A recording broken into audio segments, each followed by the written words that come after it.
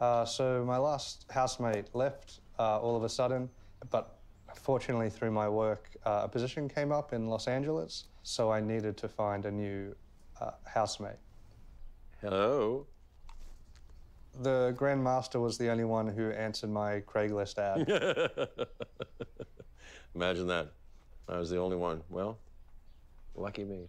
At first, I thought he was just another Hollywood type person. Then I realized he was more than likely from another planet. I like learning about your culture. What do you call this? Toast. Yes. I come from Sakaar. It's a haven for lost things. That sounds kind of poetic, but it's really kind of a catch all place.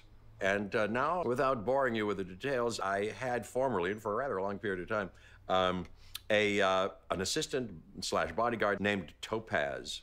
Uh, and uh, now, uh, you know, I'm looking for a new assistant. And you know who f- seems to fit the bill just perfectly, believe it or not, is Darryl.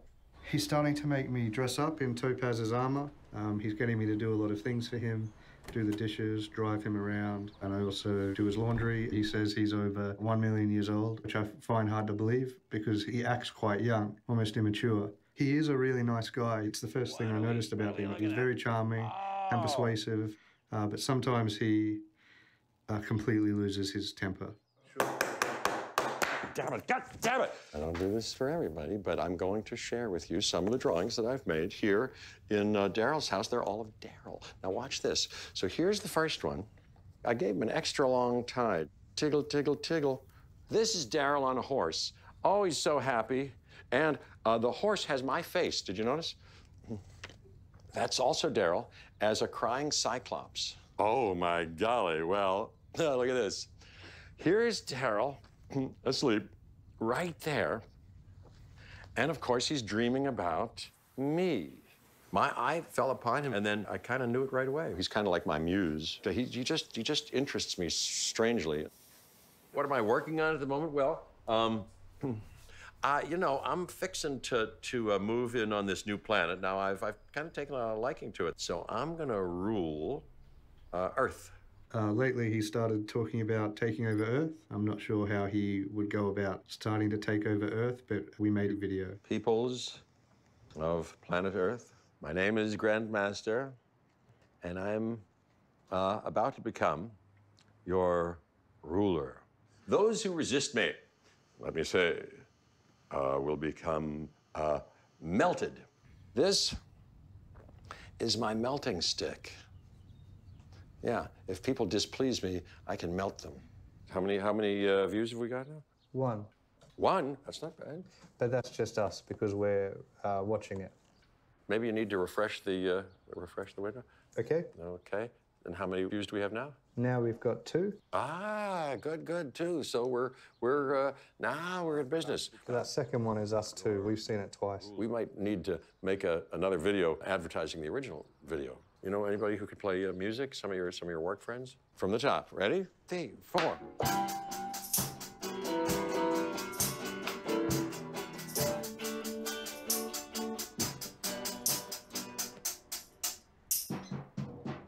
Nope, nope, nope. Wow, David, why are you playing a, a, a when I'm we're obviously doing a Zetz? Why why are you doing that? I don't know what that is.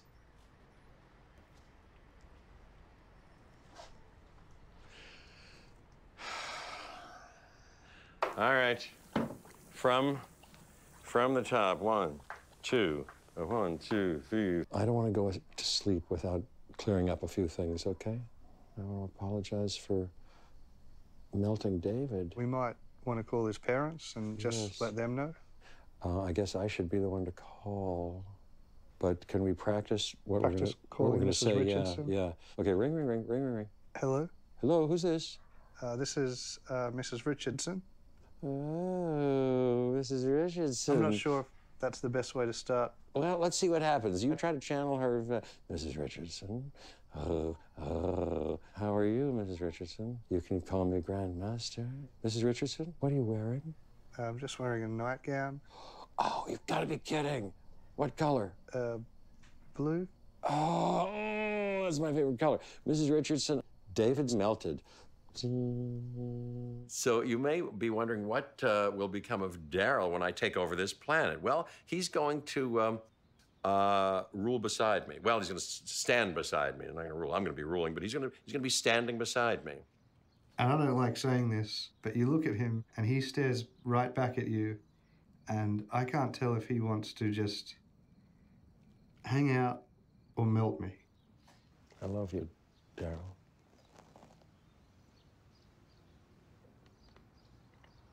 Uh, do you have anything to say to that? I love you too. I didn't force him to say that.